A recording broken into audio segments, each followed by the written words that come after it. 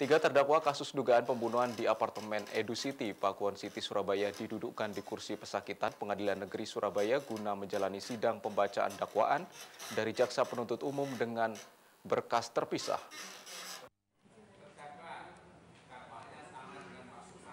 Tiga terdakwa kasus dugaan pembunuhan di apartemen Edu City, Pakuwon City, Surabaya akhirnya disidangkan di Pengadilan Negeri Surabaya. Mereka di antaranya terdakwa berinisial S, RH, dan IS. Ketiganya menjalani agenda yang sama di antaranya pembacaan dakwaan dengan berkas terpisah.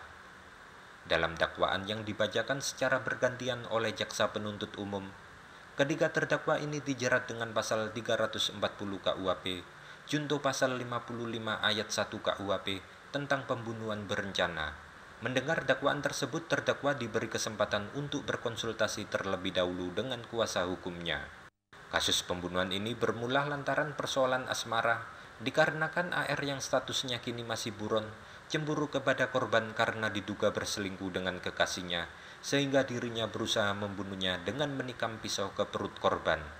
Sedangkan sebelum terjadi pembunuhan, ketiga terdakwa mengajak korban berpesta narkoba di apartemen tersebut serta salah satu terdakwa ini berperan mengajak korban untuk mendatangi apartemen sebelum kejadian pembunuhan terjadi. Agung Dharma, Surabaya TV